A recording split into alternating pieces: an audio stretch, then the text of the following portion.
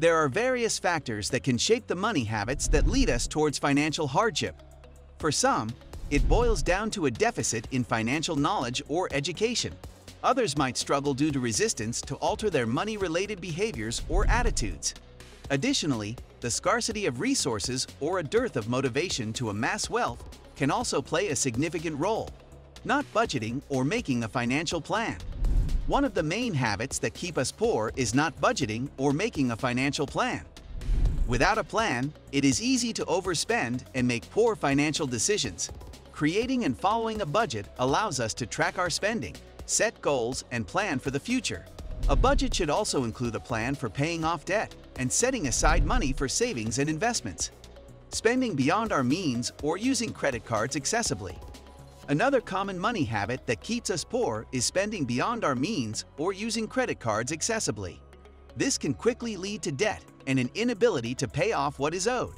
To avoid this, it is important to be aware of our spending and only buy what we can afford. Additionally, we should limit our use of credit cards and always pay off the balance in full each month. Not saving or investing for the future. Why don't we save for the future? Saving money is very important especially when it comes to retirement. Not setting aside money for retirement can put us in a difficult financial situation. To avoid this, it is important to start saving and investing early and to make regular contributions to our retirement plans.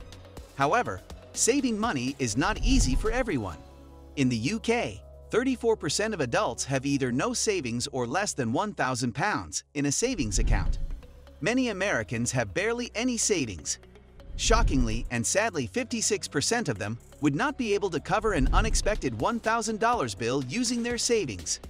Therefore, it is very important to analyze risks and carry out costs and benefits analysis before making any investment decisions. Not keeping track of our finances or relying on someone else to manage our money. Another habit that can keep us from reaching our financial goals is not keeping track of our finances or relying on someone else to manage our money.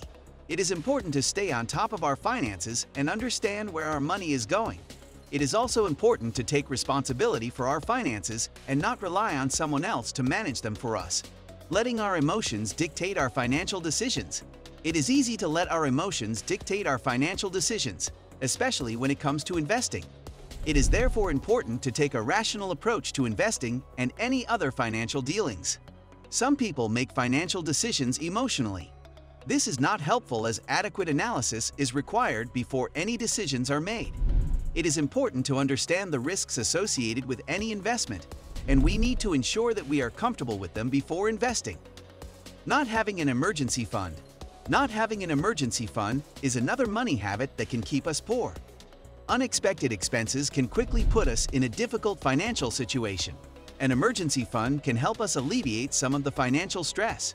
It is important to set aside some money each month to build an emergency fund that could help us cover at least three to six months of expenses. Not researching or comparing prices before making a purchase.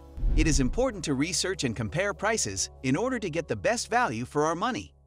Additionally, it is important to look for discounts and other deals that can help us save money. There are many companies that can help us compare prices. Not considering the long-term cost of purchases.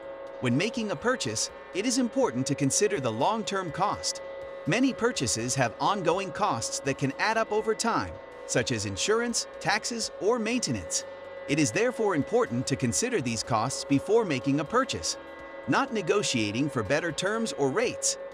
Negotiating for better terms or rates is another money habit that can help us get the best value for our money.